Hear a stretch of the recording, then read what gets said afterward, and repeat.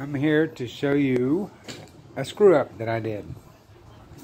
Now on a 1998 Chevy Express van, I put a transmission in it. Well, I did not pay attention when going together and I put the flex plate, this is a brand new flex plate, I put it in backwards.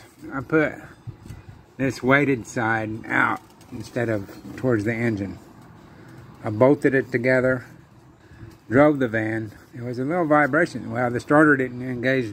It started it, but it had a problem engaging. You can see where it's hit the teeth. But it started and ran. And I shut it off, and then I figured out that I had put my flex plate on backwards. So I flipped it around and drove it, and then it had a vibration. Well, you can see the center is flat on the ground, and there's a gap. There's a gap on the edges. Now take the same weighted side, put it on the table. It's flat, and it has a eighth inch gap.